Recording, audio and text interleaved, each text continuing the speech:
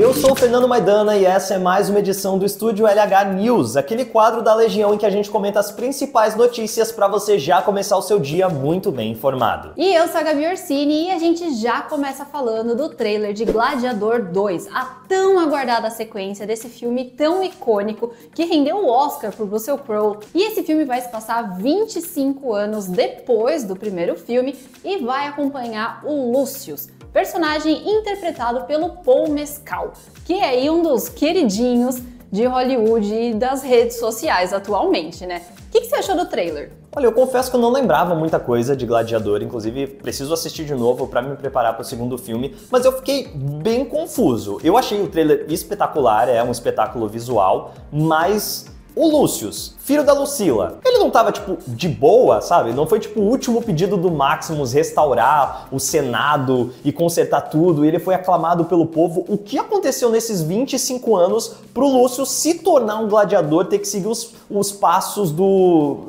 Não é o pai dele, né? Mas da, daquela figura que ele tinha, né? Como uma figura paterna. Mas ele fala isso, né? Eu cresci sem pai, eu cresci sem mãe. Ué. Pois é, eu também fiquei sem entender muito aí o que aconteceram nesses 25 anos, inclusive até falando na Lucila, né? A atriz, a Connie Nielsen, vai voltar para interpretar a mesma personagem no filme e o elenco tá aí gigantesco, né? Ainda tem Pedro Pascal, também tem o Joseph Quinn, o nosso querido Ed de Stranger Things, ele vai ser o Imperador César.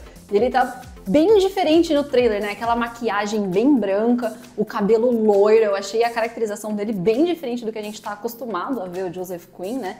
Mas eu realmente achei o trailer maravilhoso. Tem Denzel Washington também, olha o tamanho desse filme. E o Ridley Scott volta para dirigir, né? Ele dirigiu o primeiro filme e tá dirigindo esse também. Então a gente pode esperar a mesma qualidade de produção desse filme, tanto na frente quanto atrás das câmeras. Eu vou te falar que eu não esperava que esse filme fosse ganhar uma sequência, nem achava que precisava. Para mim ele é tipo o último samurai.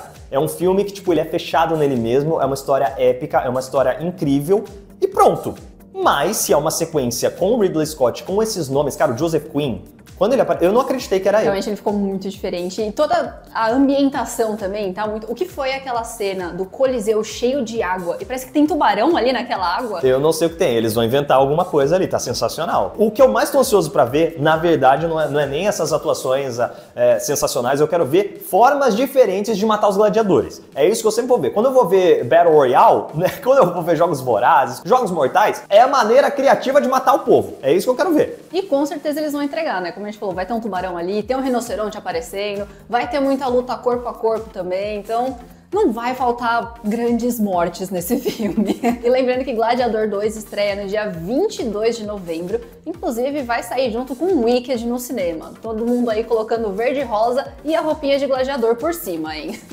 e por falar em outra grande produção que tá chegando no dia 18 de setembro, chega no Disney Plus, Agatha Desde Sempre, a sequência spin-off de WandaVision focada na Agatha Harkness. Olha, eu vou começar falando desse título. Agatha, desde sempre, eu achei que ficou meio estranho no português. Eu entendo que faz sentido com a tradução, né? Porque ficou Agatha All Along, porque depois de tantos títulos que a gente teve para essa série, a, o título final ficou esse e faz sentido a tradução, mas não sei, eu sinto que perdeu um pouco da graça, porque Agatha All era a música de WandaVision, né? Então acho que perdeu um pouquinho assim na tradução. O que você achou desse título? Eu também achei, acho que é mais interessante se fosse, né, Agatha o tempo todo, como eles traduziram na própria música, mas eu acho que isso vai ter a ver com o que a gente vai ver na história. Então, pro inglês faz sentido ser Agatha all along, tanto é, Agatha o tempo todo na série de WandaVision, quanto o que a gente vai ver acontecendo nessa série. Então, eu acho que alguma coisa vai acontecer na série em que Agatha, desde sempre, vai fazer sentido no português também. A gente vai ver ela tentando recuperar os seus poderes depois que a Wanda morreu, né? E eles deixam isso claro até de uma maneira muito exagerada no trailer, em colocar ali uma, uma autópsia para ela, em colocar o nome dela da, na ficha de mortos, né? A Marvel focar nesse ponto que a personagem morreu, eu acho que é justamente para em algum momento tentar trazer ela de volta e acho que é justamente isso que deve acontecer nessa série. a gente vai ter uma jornada da Agatha tentando recuperar os poderes, né? Ela fala ali sobre o caminho das bruxas, que é algo que existe nos quadrinhos, é uma dimensão alternativa que só os feiticeiros mais poderosos da Marvel conseguem acessar, e é justamente por isso que ela tá reunindo o seu coven de bruxas, e a gente já vê o Billy ali no meio, né? Não foi confirmado quem ele é, mas é o Icano. Ele, inclusive, aparece com uma faixinha no cabelo ali, a, a, gente sabe que é o Icano. Então eu acho que de alguma maneira ele vai tentar se infiltrar no Coven da Agatha para trazer a mãe de volta. E é justamente o caminho das bruxas que vai trazer ela de volta também. Olha, eu vou falar, acho que quem já me acompanha sabe que eu amo qualquer produção que tem bruxa, então ver esse trailer, né, que traz não só uma bruxa, como uma bruxa montando um coven. Então a gente vê ali várias caras de várias bruxas, assim, eu acho que vai trazer uma pegada mística que ainda tá faltando na Marvel para mim, né? Realmente, mesmo tendo o Doutor Estranho, tendo a Feiticeira Escarlate, essa parte de bruxaria, de feitiços, eu, para mim, ainda falta. Então eu acho que essa série vai trazer isso pra gente.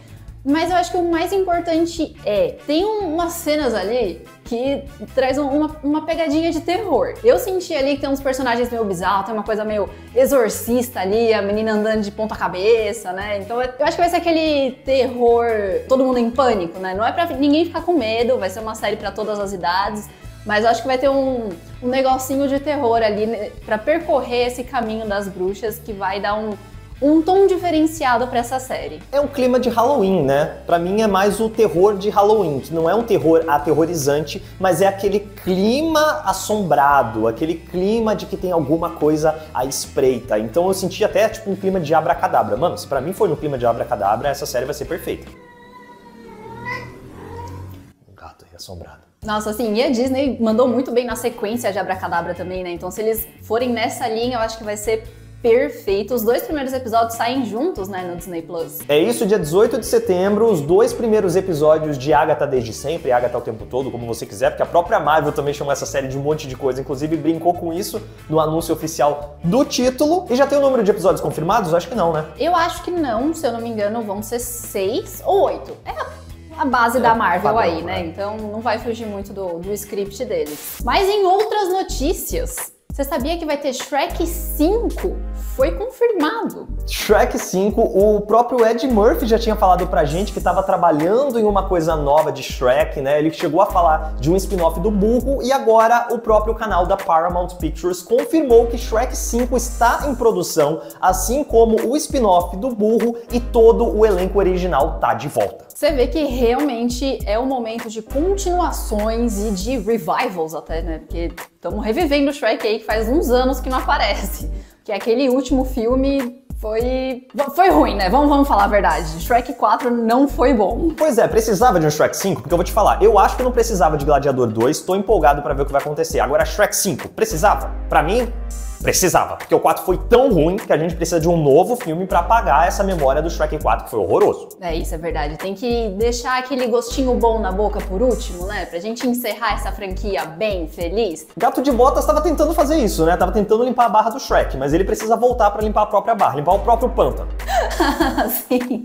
E vamos ver o que esse burro vai entregar também, né? Esse spin-off dele. Não não sei o que esperar de nenhum dos dois filmes, confesso aqui para você. E o filme já tem até data de estreia definida. Shrek 5 chega aos cinemas no dia 1 de julho de 2026. Tá empolgada? Eu tô muito empolgada. Eu com certeza vou estar no cinema para assistir esse filme. É Shrek, né, gente? Não tem como dar errado, eu espero. Comenta aí pro que você tá mais ansioso para assistir de tudo que a gente comentou aqui e a gente se vê no próximo Estúdio LH News. Tchau, tchau.